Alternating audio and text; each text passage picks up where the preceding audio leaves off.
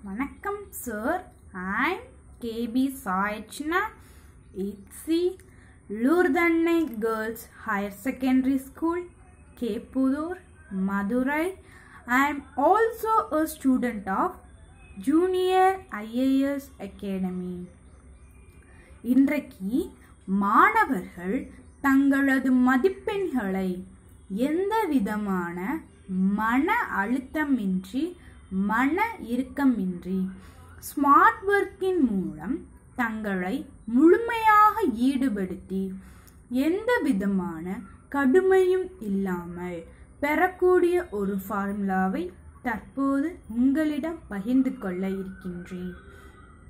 அந்த formula state rank strategy ஆகும். என்பது triple R versus triple R formula ஆகும். அதாவது R R R versus R R R formula ஆகும். இந்த triple R versus triple R ஃபார்முலாவை இரண்டு விதமாக பிரிக்கலாம். அதில் ஃபர்ஸ்ட் ட்ரிபிள் ஆர் வந்து பார்த்தீங்கன்னா நம்ம ஸ்கூலில் எப்படி படிக்கிறோம்? செகண்ட் ட்ரிபிள் ஆர் பார்த்தீங்கன்னா நம்ம ஜூனியர் ஐஏஎஸ் அகாடமியில் எப்படி படிக்கிறோம் அப்படின்றத டிஃபர் பண்ணி கொடுத்துருக்காங்க. ஃபர்ஸ்ட் ட்ரிபிள் ஆரில் இருக்க first R reading second R recollection third R representation மறுபடியும் சொல்கிறேன் ஃபர்ஸ்ட் ட்ரிபிளால் இருக்க first R reading second R recollection third R representation அப்போது முதலில் வரக்கூடிய ஆர் அதாவது ரீடிங் என்பது studying learning observation studying learning observation studying என்பது நம்ம மேம் நடத்துகிற பாடங்களை அவங்க நடத்துகிறதையும் நம்ம கவனிக்கணும். அவங்க என்ன பாடம் நடத்துகிறாங்க எந்த லைனில் வராங்க என்பதையும் நம்ம கவனித்து நம்மளும் ரீட் பண்ணிக்கிட்டே இருக்கணும். செகண்ட் செகண்ட் ஒன் வந்து லேர்னிங் லேர்னிங் என்பது நம்ம ஒவ்வொரு நாளும் ஒவ்வொரு பாடம் புதுசு புதுசாக கற்றுக்கிட்டு இருக்கோம். அதாவது லேர்னிங் என்பது கற்றுக்கொள்வது அப்சர்வேஷன் என்பது நம்ம உள்வாங்குதல். என்னது? உள்வாங்குதல். உள்வாங்குதல் என்பது வந்து நம்ம இது நம்ம கண்ணு பார்த்து பிரெயினில் சேவ் ஆகணும். அதுக்கப்புறம் காது கேட்டு பிரெயினில் சேவ் ஆகணும்.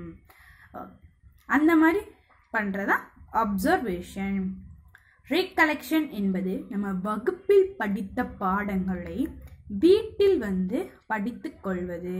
வீட்டில் நம்ம எப்படி படிக்கிறோம்? கொஸ்டினுக்கு ஆன்சர் எதுன்னு தெரியாமல் அர்த்தம் தெரியாமல் பொருள் தெரியாமல் ஸ்கூலில் நம்ம கவனிக்காமல் வீட்டில் வந்து அது என்னன்னு தெரியாமல் நம்ம மனப்பாடம் பண்ணுறோம் இல்லையா? அதுதான் அப்சர்வேஷன் சாரி ரீகலெக்ஷன் அப்புறம் ரெப்ரசன்டேஷன் என்பது வகுப்பிலும் வீட்டிலும் படித்த பாடங்களை மிட்டர்ம் எக்ஸாம் வைத்து கொள்வது. அதாவது நம்ம ஸ்கூலில் படித்ததையும் வீட்டில் படித்ததையும் நம்ம வந்து எக்ஸாமில் மிட்டம் எக்ஸாம் வச்சு வைக்கிறாங்க. அப்போது நம்ம ஃபஸ்ட்டு ட்ரிபிளாரை பொறுத்த வரைக்கும் நம்ம ஓரளவு ஓரளவு மதிப்பெண் தான் எடுக்க முடியும். இந்த செகண்ட் ஃபஸ்ட்டு ட்ரிபிளால் வந்து நம்ம ஸ்கோரிங் வர முடியாது. என்னது? ஸ்கோரிங் வர முடியாது. ஏன்?